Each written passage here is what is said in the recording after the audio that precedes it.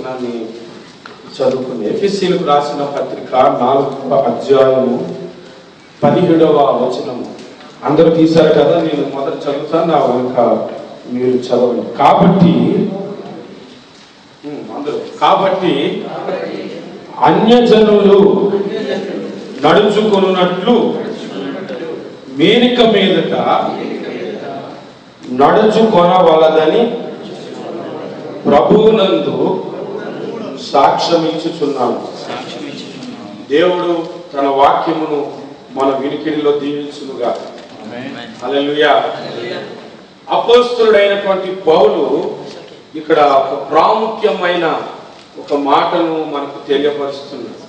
అదేంటంటే మనము అన్యజనులు నడుచుకున్నట్లు నడుచుకోకూడదు నడుచుకోవద్దు అనే ఒక సంగతిని మనకు తెలియపరుస్తుంది. ఈ ఎఫ్ఈసి సంఘస్థులు అందరూ కూడా అన్యులే వారు యూదులు కాదు వాళ్ళందరూ అన్య జాతిలో నుంచి రక్షింపబడిన వ్యక్తులే.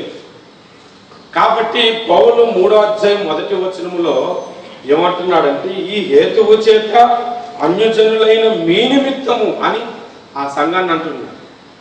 అలాగా అన్యజనాంగంలో నుంచి రక్షింపబడినటువంటి మీరు అన్యజనుల వలె మీరు ఉండొద్దు. అన్యజనుల వలె ముందుకు వెళ్ళొద్దు అని మనతో ఇక్కడ మాట్లాడుతున్నాడు. హల్లెలూయా హల్లెలూయా. అన్యజనులాగా ఉండొద్దు అని అన్నాడంటే మరి ఎవరిలాగా ఉండమని అర్థం? దేవుని ప్రజల్లాగా ఉండమని అర్థం. దేవుని జనాంగములాగా ఉండమని అర్థం. మరి దేవుని ప్రజలు ఎవరు దేవుని దేవుని జనాంగం ఎవరు మనందరికీ తెలుసు. చెప్పండి. ఇజ్రాయిల్ యూదులు యోధులు అని మూడు పేర్లు ఉన్నాయి ఇజ్రాయిల్ ఏం ఎన్ని పేర్లు ఉన్నాయి హెబ్రియులు హెబ్రియులు అని పేరు ఎప్పుడు వచ్చిందో తెలుసా ఇజ్రాయిల్ మీకు? ఇజ్రాయేలీల జాతికి హెబ్రియులు అనే పేరు ఎందుకు వచ్చింది? అసలు ఎవరి దగ్గర నుంచి వచ్చింది? మిమ్మల్ని కనుక ఇస్రాయేలీలు అనే పేరు ఆ జాతికి ఎలా వచ్చింది? ఎవరి దగ్గర నుంచి వచ్చిందంటే మీరు ఏం చెప్తారు వెంటనే? యాకోబు దగ్గర నుంచి వచ్చేసిందని మీరు చెప్పగలుగుతారు. అలాగే యోధా జాతి అనే వారికి ఎలా పేరు వచ్చిందంటే యోధా గోత్రం ఉంది కాబట్టి దాన్ని బట్టి యోధులుగా ఆ, వారికి పేరు వచ్చిందని చెప్తారు మరి హెబ్రిల్ అనే ఆయనకి ఎలా వచ్చింది పేరు? ఎరుసలేం బట్ట. ఎరుసలేం అంటే హెబ్రిల్ అని? మోషన్ బట్ట ఉం? కాదు కాదు. మీరు గమనించండి హెబ్రియుడు అని అబ్రహాముకి అన్యజనులు పేరు పెట్టారు. ఎవరు పెట్టారు? హెబ్రియుడైన అబ్రహాము అని ఆది కాండంలోనూ ఉంటుంది. మీరు చదివితే హెబ్రియుడైన అబ్రహాము అని. హెబ్రియుడు అంటే అర్థం ఏంటో తెలుసా? హెబ్రోన్ అంటే తెలుసా పోనీ? హెబ్రోన్ సింగార్ గురించి మీరు ఎప్పుడైనా విన్నారా? హెబ్రోన్ అంటే దేవునితో సహవాసము అని అర్థం. అన్యజనులు అబ్రహాముకి హెబ్రియుడని ఎందుకు పెట్టారంటే అబ్రహాము ఎప్పుడు చూసినా దేవునితో మాట్లాడుతూ దేవునితో కలిసి ఉండేవాడు కాబట్టి అక్కడ ఉన్న జనాంగము హెబ్రియుడు అన్నారన్నమాట. అంటే దేవునితో సహవాసము చేయవాడు అని అర్థం. ఆ తర్వాత ఇస్సాకు పుట్టాడు అబ్రహాం. ఆ ఇస్సాకు ఇద్దరు కొడుకులు పుట్టాడు అందులో ఒక ఆయన పేరు యాకోబు. ఆ యాకోబు ప్రార్థన జీవితం వల్ల తన జీవితమును మార్చుకుని తన మనసును తన జీవితమును మార్చుకున్న తర్వాత దేవుడు అతనికి ఇజ్రాయేల్ అని పేరు పెట్టాడు. అప్పుడు నుండి ఇస్రాయేల్ అని పేరు వచ్చింది. ఆ యాకోబుకి పన్నెండు మంది కొడుకులు పన్నెండు గోత్రాలు కూడా వారే. పన్నెండు గోత్రకర్తలు కూడా వారే. ఇస్రాయేలీలకు పన్నెండు గోత్రకర్తలు నిధులు ప్రతినిధులు కూడా వారే. అందులోని యోధా గోత్రం ఒకటి ఉంది. యోధా గోత్రాన్ని దేవుడు బహుగా ఆశీర్వదించటం బట్టి ఆ యోధా జాతి అనేది ఒకటి వచ్చి.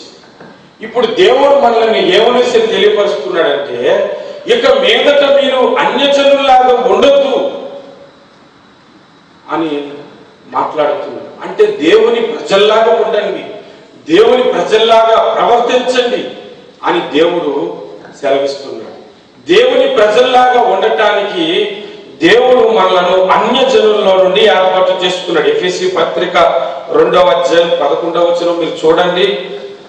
కాబట్టి మునుపు శరీర విషయములో అన్యజనులై ఉండి శరీరమందు చేతితో చేయబడిన బడిన సున్నతి గలవారు అనబడిన వారి చేత సున్నతి లేని వారు అనబడిన మీరు సున్నతి పొందిన వారు సున్నతి పొందలేనటువంటి వారిని ఈ ఏమనంటున్నారంటే అన్యజనులు.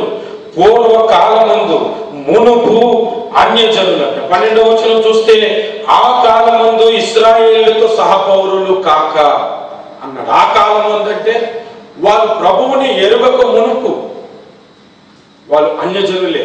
వాళ్ళు ప్రభువుని ఎరిగిన తర్వాత ఇస్రాయేలీలతో సహా పౌరులు అంటున్నారు. మనలను ప్రభువులోనికి మనందరం ప్రభువులోనికి వచ్చిన తర్వాత మనం ఏ విధముగా మనం ఉన్నామంటే ఎబిసి పత్రిక మూడవ అధ్యాయము ఎనిమిదవ వచనం మనం చూస్తే ఆరో వచనం మనం చూస్తే ఈ మర్మం ఏదనగా అన్యజనులు సువార్త వలన క్రీస్తు యేసునందు యూదులతో పాటు సమాన వారసులు మనకి దేనితో సమానత్వం ఇచ్చాడు? యూదులతో సమాన వారసత్వం ఇచ్చేశాడు దేవుడు యూదులతో సమాన వారసత్వం అంటే యూదులకి ఏమేమి ఆశీర్వాదాలు ఉన్నాయో ఏమేమి వాగ్దానాలు ఉన్నాయో అవన్నిటికి మనము కూడా వారసులము వారసులము అబ్రాహాముకు దేవుడు ఏ వాగ్దానాలు ఇచ్చాడో ఆ వాగ్దానాలకు మనము కూడా వారసులమే. హల్లెలూయా. కాబట్టి మనం ఎవరిలాగా ఉండాలి ఇప్పుడు? యూదులలాగా దేవుని ప్రజల్లాగా ఇస్రాయేలీలాగా ఉండాలి. నేను ఒక మాట చెప్తున్నాను మీరు శ్రద్ధగా వినండి. బాహ్యమునకు యూదుడైన వాడు యూదుడు కాడు అని బైబిల్ చెబుతుంది. రోమిలకు రాసిన పత్రిక రెండవ అధ్యాయం ఇరవై ఎనిమిదవ వచనం చూడండి ఎవరైనా చదవండి. బాధితులకు యూదుడైన వాడు యూదుడు కాదు. ఆ తర్వాత ఏమన్నాడు? శరీరమందు పొందినటువంటి సున్నతి సున్నతి కాదు. అయితే అంతరంగమందు యూదుడైన వాడే యూదుడు. అంతరంగమందు యూదుడైన వాడే యూదుడు. మరియు ఇస్రాయేలీకి దేవుడు ఒక నిబంధన పెట్టాడు. ఏంటంటే మీరు నా ప్రజలుగా ఉండటానికి ప్రతి మగవానికి సున్నతి చేసుకోమని చెప్పాడు. క్రొత్త నిబంధనకు వచ్చేసరికి బాహ్యమందు యూదుడైన వాడు యూదుడు కాదు శరీరమందు సున్నతి సున్నతి కాదు అంతరంగమందు యూదుడైన వాడు యూదుడు. హృ- హృదయ సున్నతి మనకు కావాలి. హృదయ సున్నతి మనకు కావాలి. ఎవరికైతే హృదయంలో సున్నతి జరుగుతుందో వాడు యూదుడు వాడు ఇజ్రాయేలుడు అతడే ఎబ్రియుడు మనకి హృదయమందు సున్నతి ఎలా జరిగింది? కొలసి పత్రిక రెండవ అధ్యాయం పదకొండవ వచనం మీరు చూడండి. కొలసి పత్రిక రెండవ అధ్యాయం పదకొండవ వచనం. మీరు క్రీస్తు సున్నతి శరీరేచ్ఛలతో కూడిన విసర్జించి ఆయన చేతులతో చేయబడిన సున్నతి పొందితే ఆయన ఎందు చేతులతో చేయబడిన సున్నతి పొందితే మీరు పొందితారు. ఏది? ఏ స్వభావం విసర్జించమంటున్నాడు శరీరేచ్ఛలతో కూడిన స్వభావమును ఆ శరీరేచ్ఛలతో కూడినటువంటి అలవాట్లను కట్ చేసుకోమంటున్నాడు అది సున్నతి అది ఎప్పుడు జరిగిందంటే బాప్తిస్మందు మనకు జరిగింది. హల్లెలూయా. బాప్తిస్మందు ఎప్పుడైతే హృదయ సున్నతి జరిగిందో మనము దేవుని నిబంధన జనులమైపోయాం. హల్లెలూయా. మనము యూదులమైపోయాం. ఇంకా ఇంకొక మాట కూడా చూపెడతాను చూడండి. గలతీలకు రాసిన పత్రిక ఆరవ అధ్యాయము పదహారవ వచనం చూడండి. ఈ పద్ధతి చొప్పున పదహారు పదిహేను. కొత్త సృష్టి పొందుటయే గాని సున్నతి పొందుట ఎందు ఏమియో లేదు పొందకపోవట ఎందు ఏమియో లేదు. ఈ పద్ధతి ఏ పద్ధతి చొప్పున? సున్నతి పొందే పద్ధతి కాదు. క్రొత్త సృష్టి పొందుట. మన గురించి బైబిల్ ఒక మాట చెబుతుంది. క్రీస్తునందున్నవాడు నూతన సృష్టి. మన క్రొత్త సృష్టి అంటే క్రొత్తగా మనం జన్మింపబడాలి. క్రీస్తునందు క్రొత్తగా మనం పుట్టిన తర్వాత మనము క్రొత్త సృష్టి ఈ పద్ధతి చొప్పున నడుచుకుని వారందరికీ అనగా దేవుని ఇస్రాయేల్ అనగా దేవుని ఇస్రాయిల్. ఎవరు దేవుని ఇస్రాయేలీలో క్రొత్త సృష్టి పొందినవారు? ఎవరైతే క్రీస్తుని అంగీకరించి ఆయన నామందు బాప్తిస్మం పొంది పాత జీవితమును విడిచిపెట్టి ఈ నూతన జీవితము జీవించడానికి వచ్చారో వారు ఇజ్రాయేలీలు వారు యూదులు వారు దేవుడితో సహవాసం చేయడానికి ప్రతి వారం వస్తున్నారు ప్రతిరోజు దేవుడితో సహవాసం చేస్తున్నారు కనుక వారు హెబ్రి. అలే ఇప్పుడు హెబ్రిలో కాదని మనం చెప్పండి. నేను హెబ్రిని కాదని మరి ఎవరైనా చెప్పండి. ఉన్నారు. నేను హెబ్రిని నేను యూదుడని. నేను ఇజ్రాయేల్ శరీరమందు యూదత్వం కాదు హృదయం మందు యూదుడని. హల్లెలూయా. ఆత్మయందు మనము యూదులము. దేవునికి స్తోత్రం. హల్లెలూయా. హల్లెలూయా. మనం యూదులమయ్యండి యూదుల్లాగా ఉండకుంటే అన్ని జనుల్లాగా ఉంటే పౌరు కోపం వచ్చేసి అది మన మూలవచనం. మన మూలవచనంలో ఏమంటున్నాడు ఇప్పుడు చెప్పండి? నాలుగు పదిహేడులో ఇక మీదట అన్యజనుల వలె ప్రవర్తించకండి.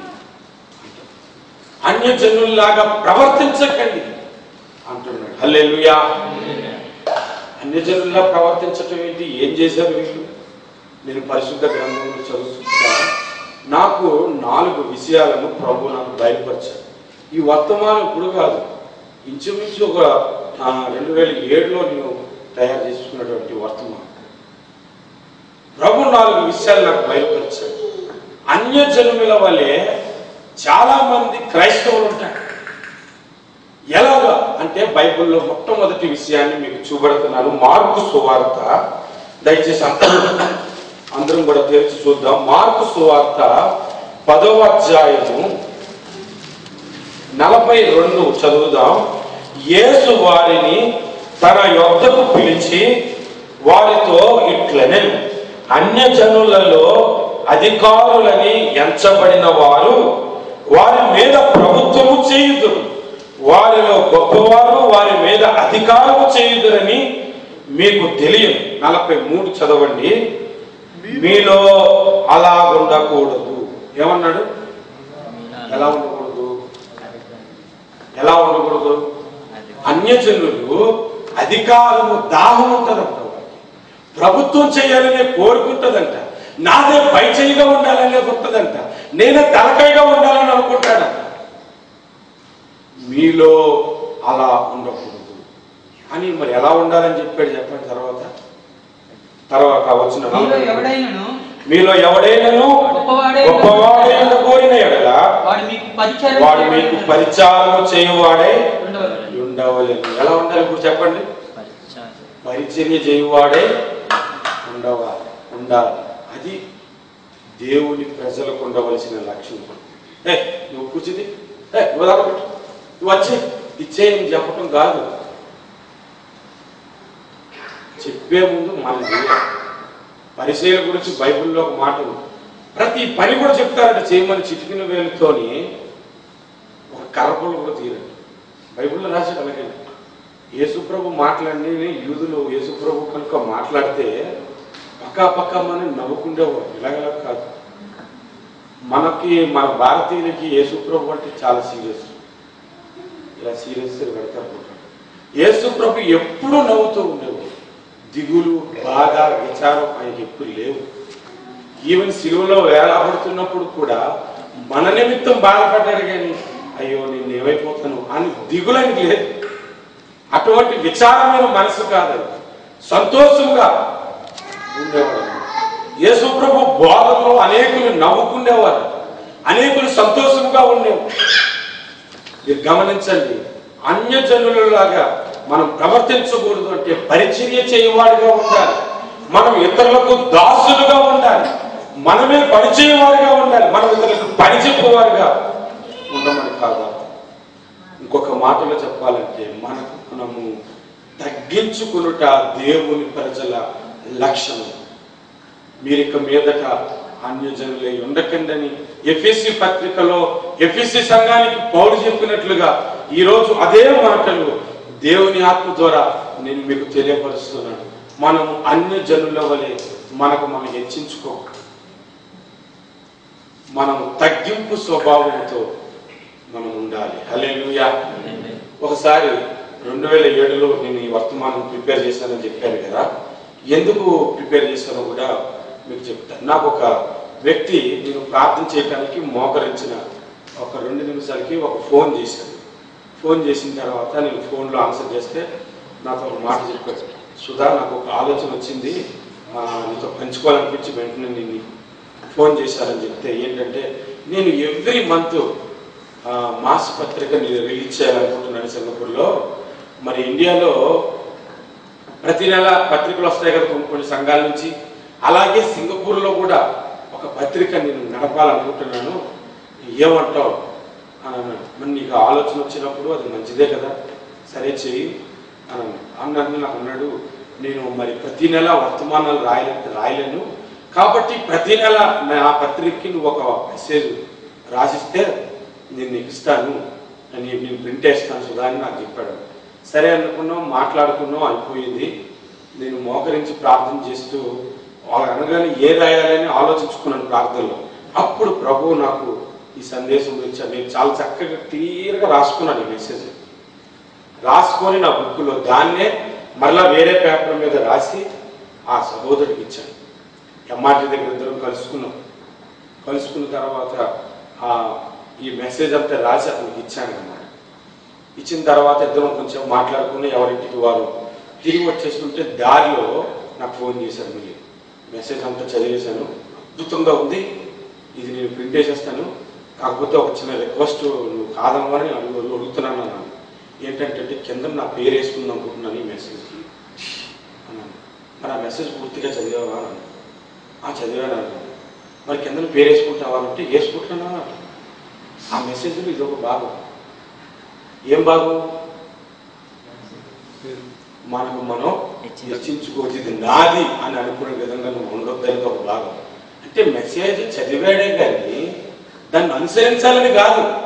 మెసేజ్ వింటారే కానీ తగ్గించుకోమని చెప్తుంటే బా మెసేజ్ మెసేజ్ అన్నా అదరు కొట్టిండు మా మెసేజ్ అన్నా ఇలా చేసిండు. అని చెప్పుకోవడానికి కాదు ప్రసంగం. క్రీస్తునందు నువ్వు ఎంతగా తగ్గించుకుంటావో ఆ తగ్గింపు స్వభావం నీలో ఉండాలి.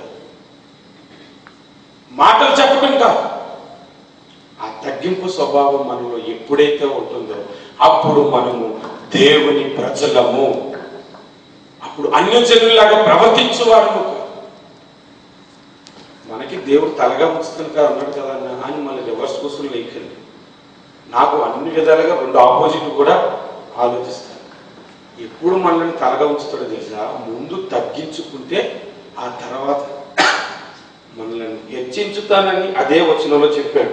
మీలో గొప్పవాడై ఉండగోరిన ఎడలా వాడు మీకు పరిచారం ప్రచారం చేయువాడై ఉండవను మన యేసు ప్రభు మొదటి రాకడలో ఆయన ఎంతగా తగ్గించుకున్నాడు మీరు చెప్పండి.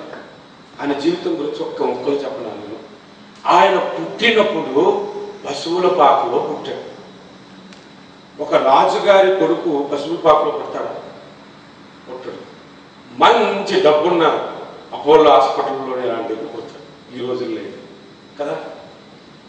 మరి సృష్టికర్త ఆయన పుట్టేటప్పుడు ఎక్కడ పుట్టాడు? పశువుల పాక ఆయన మరణం ఎలా ఉందో మీరు గమనించారా? ఒక గొప్ప ధనవంతుడైనటువంటి సమాధిలో ఆయన శరీరం పెట్టబడింది అంటే ఆయన జీవితం ఎలా ప్రారంభమైందో ఒకసారి ఆలోచించండి. తగ్గింపుతో దేవుడు అతన్ని హెచ్చుకుంటూ హెచ్చించుకుంటూ వచ్చాడు మన ప్రభువుని. హలెలుయ మన ప్రభువే అనేక విషయాల్లో తగ్గించుకొని మాట తీరులో తలంపుల్లో ఉంటే ఆయన్ని అనుసరిస్తున్నాం మనం. ఏంటి మాటలు? సరిగ్గా మాట్లాడుతున్నాం ఏమనుకుంటున్నాడు గురించి ఇలాంటి మాటలు మనం ఆడకూడదు చెప్తున్నాం. చాలా విషయాల్లో మనం తగ్గింపు స్వభావంతో ఉండినప్పుడే దేవుని ప్రజలముగా పిలువబడతాం. హల్లెలూయా. హల్లెలూయా. మన మూలవచనం ఏం చెప్పింది చెప్పండి ఒకసారి. ఇక మీదట అందరూ ఇక మీదట అన్యజనుల వలె ఉండకూడదు. ఇక మీదట ఈ రోజు నుంచైనా మనం ఆ ప్రవర్తనలో పోతాం. మనం తగ్గించుకుంటే ఎదుటి దగ్గర తక్కువైపోతాం అనుకుంటాం కానీ వాడికి మించిన అభిషేకం వారికి మించిన ఉన్నత స్థితి యేసు రాకడలో మనకు దొరుకుతుంది. హల్లెలూయా. హల్లెలూయా. రెండో విషయం చెప్తున్నాను. శ్రద్ధగా వినండి ఏ ఏ విషయాల్లో అన్యజనులుగా మనం ప్రవర్తిస్తున్నామో మత్తయి వార్త ఆరవ అధ్యాయము. కాబట్టి ఏమి తిందుమో? ఏమి తిందుమో? ఏమి త్రాగుదమో? ధరించుకుందామో అని? ఏమి ధరించుకుందామో అని? చింతింపకుడి చింతింపకుడి. అన్ని జనులు విషయమై విచారి వీటన్నిటి విషయమై విచారించు. అన్యజనులు ఏం చేస్తారు చెప్పండి ఇప్పుడు. రేపు ఏం తింటాము? రేపు ఎలా బ్రతుకుతాము? మన బ్రతికేంటో? వాటి మీద చింత ఉంటుంది. ఒక క్రైస్తవుడు దేవుడు ఎరిగినటువంటి బిడ్డ రేపు భోజనం కొరకు ఆలోచిస్తున్నాడంటే అసలు సిగ్గుపడాలి ఎందుకంటే మనం నమ్ముకున్న దేవుడు ఎటువంటి దేవుడు అంతే. రేపు ఏం జరుగుతుందో నేను సరే ధరించుకోవడానికి మంచి బట్టలు ఉంటాయి లేదో అన్న ద- అధైర్యం మనకు అవసరమే లేదు. అవసరమే లేదు. ఎక్కడుంటావు అనేది కూడా అవసరం లేదు. దేవుడు సమస్తమును మనకు సమకూర్చే దేవుడు. వాటి గురించి చింతిస్తున్నాము అంటే దేవుడు మన కొరకు చింతిస్తుంది మీ చింత యావత్తు ఆయన మీద వేయడని బైబిల్ చెబుతుంది కదా. మరి ఇంకెంత జాగ్రత్తగా ఉండాలి. ఒకసారి ఒక పాస్టర్ గారు చెప్పారు ఒక ముస్లాం అంట బావి దగ్గర ఏడుస్తుందంట. నీళ్ళు తోడుకోవడానికి వచ్చిన ఆమె అడిగిందంటే ఎందుకమ్మా ఏడుస్తున్నావు? అంటే చూశారు కదండి నా మనవరాలు అలా వాడుకుంటుందో నీటిలోని. ఇది ఎప్పుడు దిగుతాయి దీనికి ఎప్పుడు పెళ్ళి చేయాలి? ఆ పెళ్ళి చేసుకున్నాడు భర్త సరిగ్గా మంచోడో కాదో సరిగ్గా చూసుకుంటాడో లేదో అని నాకు ఇప్పుడు నుంచి దిగిలేసేస్తుంది. పిల్ల అంత ఉంది. ఎప్పుడు ఎదగాలి? ఆ పిల్లకి పెళ్ళి ఎప్పుడు చేయాలి. ఆ వచ్చే భర్త మంచోడు వస్తాడో కాదో అని ఇప్పటి నుంచే దిగులండి. చాలా మంది రేపు ఏమి జరుగుతుందో అన్న ఆలోచన ఇప్పుడు చేయవలసిన దేవుని పనిని చేయటం మానేస్తారు. అది అన్యజనులకు ఉండే లక్షణం మనకుండే లక్షణం ఏంటంటే ఆయన నీతిని ఆయన రాజ్యమును మొదట వెతుకుడి. తర్వాత దాని కింద మనం ఆ పని చేసుకుంటుంటే ఇవన్నీ ఆటోమేటిక్గా మన వెనక ఉంటుంటాయంట దావి గురించి ఇరవై మూడో కీర్తనలో ఒక చక్కని మాట ఉంటుంది. కృపాక్షేమములు నా వెంట కృపాక్షేమములు వెంట వెళ్ళట్లే అవే ఈ వెంట వస్తున్నాయి. ఈయన నడుచుకుంటూ వెళ్ళిపోతుంటే ఈయన ఎక్కడికి వెళ్తే అక్కడికి వస్తున్నాయి. అటువంటి భక్తి జీవితం ఆయనది. రేపు ఏం జరుగుతుంది ఆ ఉద్యోగం తీసేస్తే ఎలా బ్రదర్ ఒక భోజనం గురించే కాదు ఒక మన వస్త్రం గురించే కాదు ఒక మన నివాసం గురించే కాదు. రేపు మన మన పరిస్థితి ఏంటి అనేది మన ఆలోచనలో ఉండి దేవుని పనిని అశ్రద్ధ చేస్తున్నామంటే మనం అన్ని జనులమే. కనుక ధైర్యము కలిగి మనం ఉండాలి. నేను ప్రభువుని నమ్ముకున్న కొత్తలో ప్రతిరోజు నాకు ఇదే ఆలోచన లేదు మా నాన్నగారు రిజైన్ చేసేసారు మా బంధువులు కానీ మా స్నేహితులు కానీ మీ నాన్న గవర్నమెంట్ ఉద్యోగులే. ఇంక అయిపోయింది మీ పని మొన్నటిదా కాలు వేసుకొని బాగా తిరిగారు. ఇంక మీ పని అయిపోయింది కూలి పనులు చేసుకొని బ్రతికటమే అని అనేసరికి నిజంగా నేను కూలి పనికి వెళ్ళేటప్పుడు ఇక నా జీవితం అంతా ఇలాగే ఉండాలేమో అన్నిట్లుగా అనిపించింది. ఆ రోజుల్లో నేను ఏసన్న గారి పాటను విన్నాను. ఒక పాట ఏంటంటే విత్తని పక్షులాను నిత్యము పోషించుచున్నావు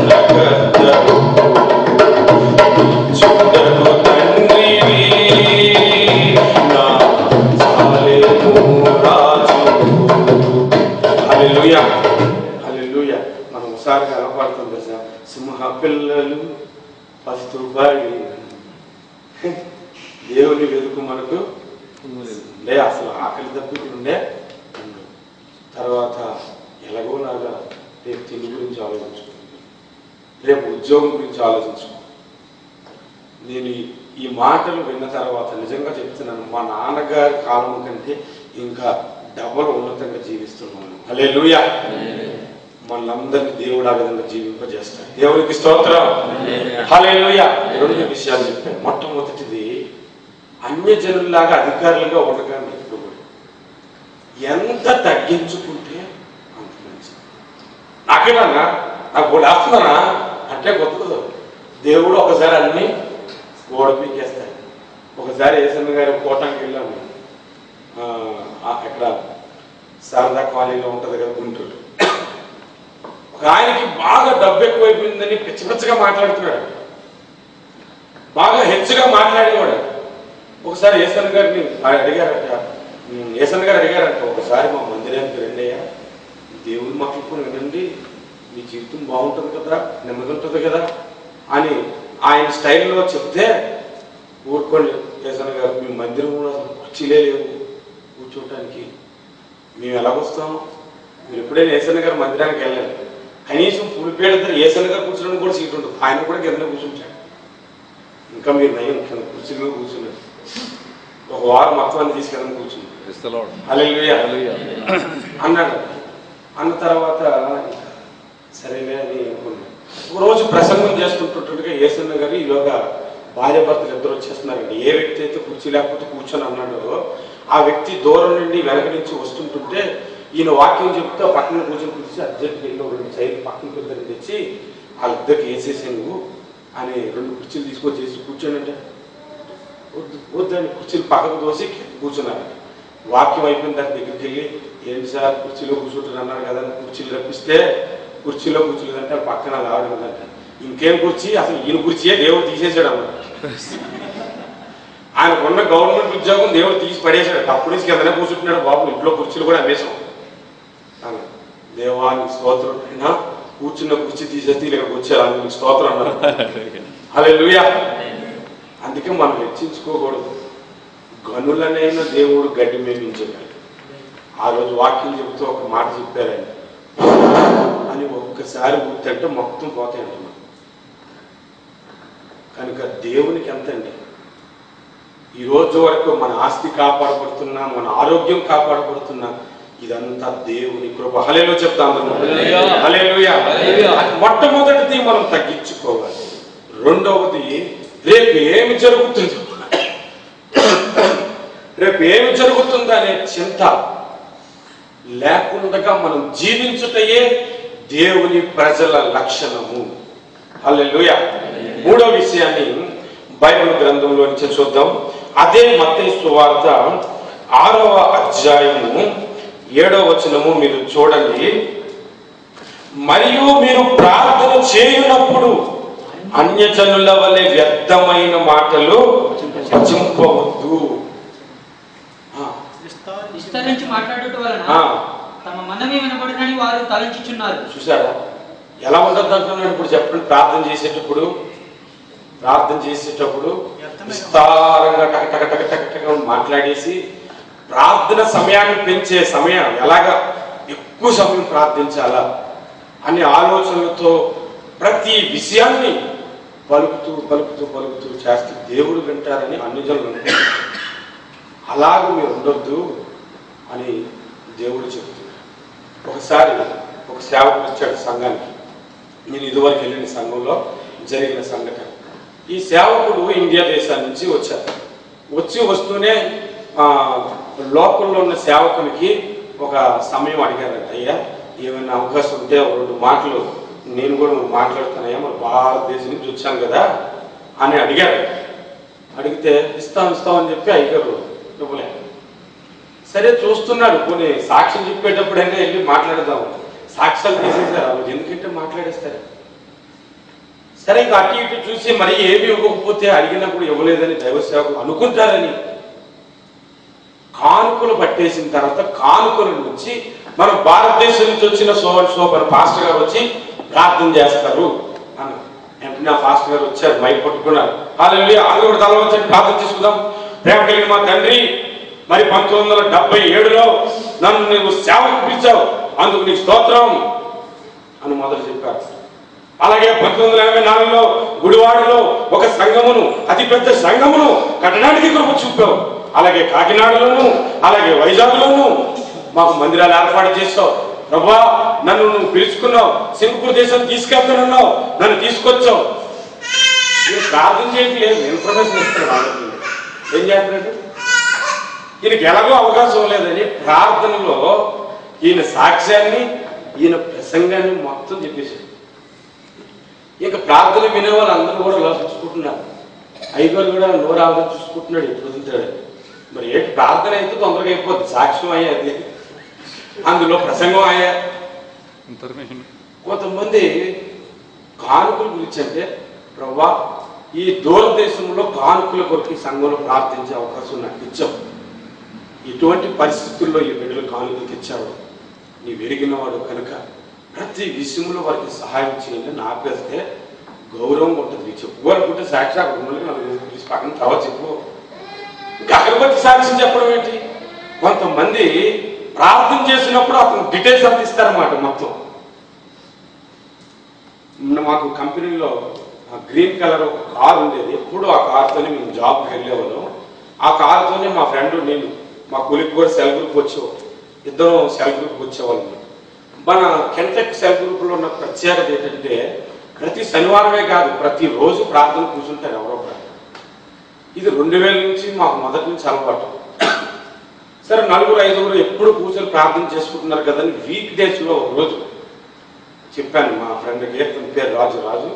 ఈరోజు మనం సెల్ దగ్గరికి వెళ్దాం ఇటువైపు ఎలాగా అటువైపే కదా జాబు వెళ్దాం అని ఇద్దరం కలిసి బండిలో వెళ్తున్నాం. మీరు లోపల కూర్చుంటే బయట ఉన్న వాళ్ళకి లోపల ఉన్న వాళ్ళకి కనపడరు అర్థాలు కానీ మాకు అందరూ కనపడతారు మీకు కొంచెం దూరంలో ఉండగానే ఒక వ్యక్తి ప్రార్థన చేస్తున్నాడు ఇంకో వ్యక్తి ఫోన్ కొట్టుకొని తెగారేసుకుంటున్నాడు మనకి ఇలా మా బండి ఊపిపోతున్నాడు ఇలా ఆడుకుంటూ ఆడుకుంటూ మా కారు చూసాడు ఫోన్ పిలిచాడు దగ్గరికి వచ్చి మోకలేసి ఇలా కారు వచ్చింది ఆగింది నేను దిగాను. ఆ ప్రార్థన దగ్గరికి వెళ్ళి నేను మోకరించాను. మా నోడు నా గురించి ప్రార్థన చేస్తున్నాడు. ఆల్రెడీ చూసేసాడు నేను రావడం సుధన్నను దీవించు వదిని దీవించు సంజనాన్ని దీవించు సెల్ గ్రూప్ ఇంకా బలపరచు అలా వాడుకోవాలి ఇలా వాడుకోవాలని అంతా ప్రార్థన చేస్తుంటే నేను అప్పుడు దాకా అతని మనసులో ఏమనుకోలేదు అది చెడ్డగా. నా గురించి ప్రార్థన చేస్తాడని చాలా సంతోషపడ్డాను అంతా అయిపోయిన తర్వాత ఎప్పుడు వచ్చారన్నా అప్పుడు నాకు వినమండేది అసలు రావడం చూసే కదా చేశాడు ప్రార్థన. చూసే చేస్తాడని నేను అప్పుడు దాకా అనుకున్నాను. చూడక చేస్తున్నానని నా దగ్గర నటించడానికి చేస్తున్నాడు అనమాట మనుషులుంటే కొంతమంది వాళ్ళ ప్రార్థనలో ఎంత బాగుంటుందండి మనుషులు లేకపోయినా మన ప్రార్థన ఎలా ఉండాలో దాని పై వచనంలో దేవుడు చెప్పాడు చూడండి. దానికి పై వచనం ఆరు. నీవు ప్రార్థన చేయనప్పుడు నీ గదిలోనికి వెళ్ళి తలుపు వేసి రహస్యమందున్న నీ తండ్రికి ప్రార్థన చేయము. అప్పుడు రహస్యమందు చూచు నీ తండ్రి నీకు ప్రతిఫలం ఇచ్చును. ఆమేన్ అందరి ముందు ఎంతసేపు ప్రార్థన చేస్తున్నాం కదా ఒంటరిగా అంతసేపు ప్రార్థన చేస్తున్నాం. ఆలోచించండి. దేవుని ప్రజల లక్షణము ఒంటరిగా ఉన్నప్పుడు కూడా గంటల తరబడి ప్రార్థించే లక్షణం ఉండాలి. అందరి దగ్గర వచ్చి పెద్ద క్యాగ్లెస్ నేను ప్రార్థన చేస్తాను ఎంత ప్రార్థన పడి ఏమో అనుకుంటున్నాను. ఇంటికి వెళ్ళాక తెలుస్తుంది. కనుక అన్యజనుల వలె ప్రార్థన ఇతరులకు చూపించుట కొరకు ప్రార్థన చేయొద్దు. నేను టీకా చర్చికి వెళ్తున్నప్పుడు ఒకరోజు బైబిల్ పట్టుకొని వెళ్తున్నాను సిగ్నల్ కొరకు వేదులు చూస్తున్నాను అనమాట సిగ్నల్ పడగానే దాటుదాం. చాలాసేపు సిగ్నల్ రాలేదు. నేను అటు ఇటు చూస్తూ తొందరగా వెళ్ళిపోదాం అనుకుంటున్నాను. ఈలోగా సిగ్నల్ పడగానే ఇటువైపు నుంచి ఇంకొక ఆయన పిలుస్తాడు. అన్నా నాకు అని పిలిస్తే నేను అతను చూసి ఆగాను. రారా సిగ్నల్ పోయిందంటే ఉన్నాను ధర సిగ్నల్ కలిగి రండి రండి అని చెప్పి రెండా టిఫిన్ చేసి వెళ్తాను ఎందుకంటే గంగ టిఫిన్ చేసి వెళ్దాం రెండా అంటే లేదురా టైం అయిపోతుంది. అని అంటే రానా టిఫిన్ చేస్తా తమ్ముడు టిఫిన్ రామంటే కూడా రావాలి ఆమె టిఫిన్ తెలిపినాం. వెళ్ళిపోయి కూర్చున్న తర్వాత ఇలా ఇంకో సహోదరుడు వచ్చి ప్రజలాడు మొత్తం ముగ్గురు కూర్చొని నీకేం కావాలని నన్ను అడిగా. అన్న నీకేం కావాలన్నా మేమందరం ఆర్డర్ చేస్తాం. వచ్చిన తర్వాత ఫస్ట్ ఇడ్లీ తిని చట్నీ ఇలా వేసుకొని తినబోతుంటే ఆగన్నా ప్రార్థన చేసావా? అని అడిగాడు. అందరం కలిపి ప్రార్థన చేసుకుందాం అన్నాను అన్న కళ్ళు మూసుకున్న తర్వాత అన్న ఏమని ప్రార్థన చేశాడంటే ప్రభువా అనేకులకు పోషిస్తున్న నీవు మాకును ఆహారం ఇచ్చావు. ఇగో ఈరోజు సుదర్శనాలను ప్రేరేపించి ఈ విధంగా మమ్మల్ని ఏర్పాటు చేసావు నా దగ్గరికి. అనగానే నేను జోబు తడుపుకున్నాను మరి ఏం చెప్తే డబ్బులు కదా. అన్న తర్వాత అంతే తర్వాత ఏంటో నువ్వు అందుకే పిలిచావంటే ఆకలేస్తుందండి డబ్బులు లేవు ఈరోజు మరి దానికి ప్రార్థన ఎందుకు రా? దొంగ ప్రార్థన బాబు అడిగితే ఇచ్చేస్తాం కదా. అడిగితే ఇచ్చేసేవాడిని కొంతమంది ప్రార్థనలు ఎందుకు చేస్తారో తెలియదండి ఒకసారి నేను చెప్తున్నాను సీరియస్గా వినండి. పాస్టర్ గారి దగ్గరికి వెళ్ళక వెళ్ళక ఒక పాస్టర్ గారి దగ్గర ప్రార్థనకి వెళ్ళాను. ఎప్పుడే వెళ్ళను ఎందుకంటే చేయట్లేదు. పాస్టర్ గారు అండి ప్రార్థన చేయండి అన్నారు. అని ఇలా కళ్ళు మూసుకున్నాను ప్రార్థన చేస్తూ ఆయన నా వైపు అలా చూస్తూ ప్రార్థన చేస్తున్నాడు. మధ్యలో ఎందుకో కళ్ళు ముక్కుని చూస్తూ ఆయన నా వైపు ఆయన కళ్ళు మూసుకుంది కదా. నేను కళ్ళు మూసుకుంటే నేను కళ్ళు మూసుకోవడం నాకు అదే ఫీలింగ్ ప్రార్థన సరే ఎందుకని చెప్పి నేను కళ్ళు తెచ్చుకున్నాను ఇద్దరు కళ్ళు తెచ్చుకున్నాను ప్రార్థన చేస్తే చూశాను ఎందుకు చూశానండి కనీసం కళ్ళు మూసుకుంటాడండి. కళ్ళు మూసుకుని ప్రార్థన చేయొచ్చు కదండి. ఇప్పుడు అది ఏదో చదువుతూ ప్రార్థన చేస్తున్నప్పుడు ఏదైనా సర్దాలు ఏదో పడిపోయి కళ్ళు తెచ్చుకుని ప్రార్థన చేయొచ్చు. కొన్ని కొన్ని సందర్భాలు. ఏమంటే కొండలు. ఉండాలి కళ్ళు తెచ్చుకుని కళ్ళు తెచ్చుకుని ఎంత తెలివైన మాట్లాడతారు తెలుసా? అన్యజనుల వంటి ప్రార్థన జీవితం మనకు. క్రైస్తవుడుగా ఉన్నందుకు దేవుని ప్రజలుగా జీవిస్తున్నందుకు మన ప్రార్థన రహస్యమందు ప్రార్థించేవాడుగా ఉండాలి పట్టుదలతో ప్రార్థించేవాడుగా మనం ఉండాలి. హల్లెలూయా. ఎన్ని విషయాలు చెప్తాను చెప్పండి? మూడు విషయాలు. మొట్టమొదటిది దేవుని ప్రజలుగా ఉండాలంటే తగ్గించుకోవాలి. రెండవది దేవుని ప్రజలుగా ఉండాలి అంటే రేపుడు గురించి ఆలోచించకూడదు. ఈ రెండు లక్షణాలు లేకుండా ఉన్నాయంటే వాడు అన్ని నాలుగో విషయంకి వస్తున్నాను మూడో విషయం ఇప్పుడు మీరు చెప్పారు కాబట్టి. నాలుగో విషయం మత్తయి సువార్త పద్దెనిమిదవ అధ్యాయము.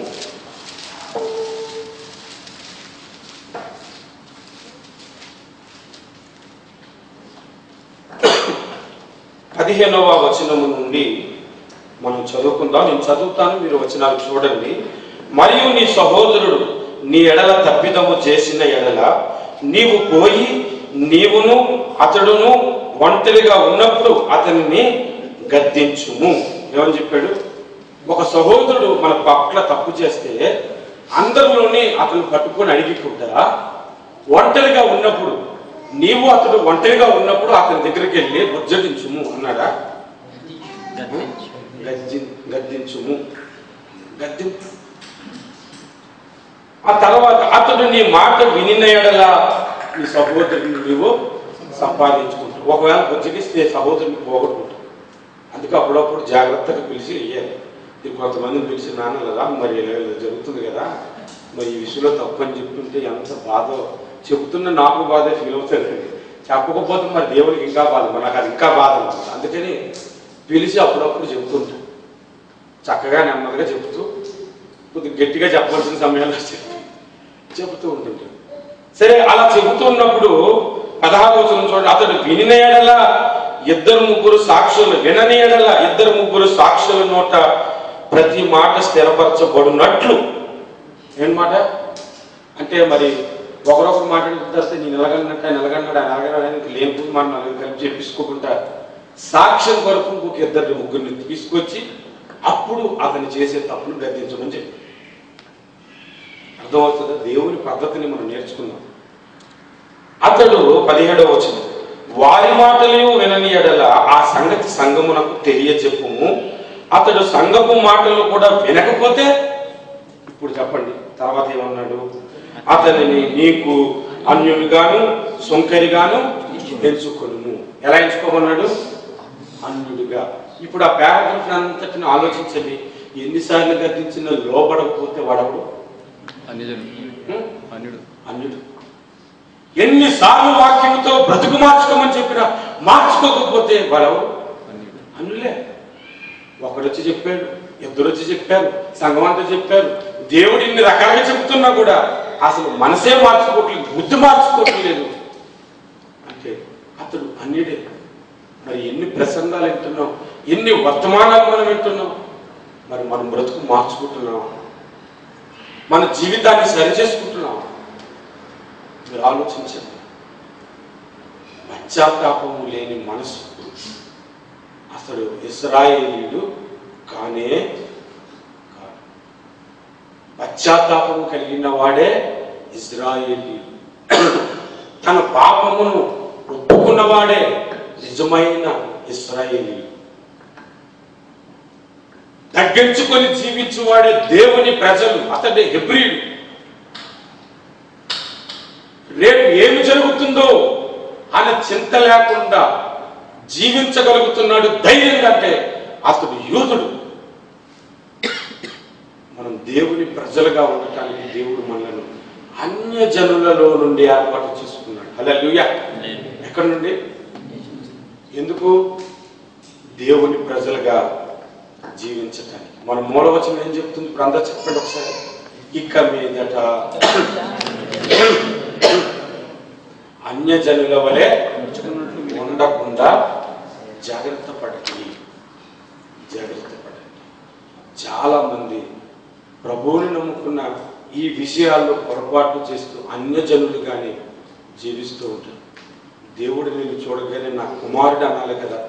నా ప్రజ నా నా ప్రజలు వీళ్ళని అనాలి కదా మనల్ని అలా అనాలంటే మన జీవితంలో ఏముండాలి మీరు ఆలోచించండి. మన ప్రార్థన జీవితం ఎలా ఉండాలి? మీరు ఆలోచించండి. అందరూ లేచి నిల్చున్నారు. ప్రభు సన్నిధిలో ప్రార్థన చేద్దాం. ప్రభు మాకు సహాయం చేయండి తండ్రి. కనికరించండి ప్రభు. ఇదిగో నీ ప్రజలుగా మేము జీవించినట్లుగా తగ్గింపు స్వభావంతో మమ్మలను నడిపించండి నాయన. మా ప్రార్థన రహస్యం మందు అయా నిన్ను గణపరిచే విధంగా వచ్చేది ఏ యెహోవా జీవము గల దేవా బహుగా స్తుతులకు ఆరుడా